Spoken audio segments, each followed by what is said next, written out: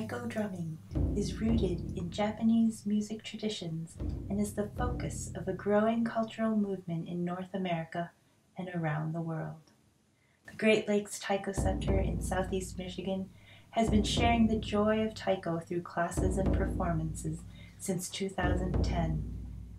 In celebration of this year's Asian Pacific American Heritage Month, we present selections from our ninth annual concert, Why We Drum, performed by members of our Raion Taiko and Godaiko drummers ensembles.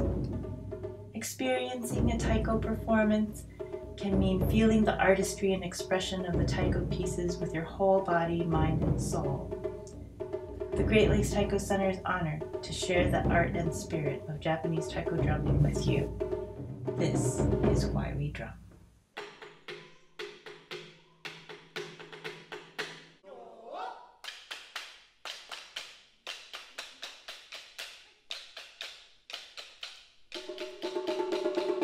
you.